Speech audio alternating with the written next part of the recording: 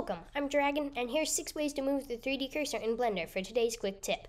Number 1, hit the 3D cursor icon which will allow you to drag to move it, or to click to move it. Number 2, shift right click. This will allow you to drag to move it or click to move it, but you need to keep holding those keys for as long as you want to move the cursor. I still think it's better than the icon. Number three, Shift C. We'll put the cursor at world origin along with making sure your objects are in view, which is actually kind of a pain sometimes. Number four, Shift S for your cursor selection menu. In this menu, I personally find cursor to selected most useful, but there are other options. Number 5, N for sidebar, then go to view and change values under where it says 3D cursor. Personally, not my favorite because it's manual. Number 6, in edit mode you can go right click and move down to snap for vertexes, then it will show cursor, and then there's a couple of op options that you can choose to move the 3D cursor.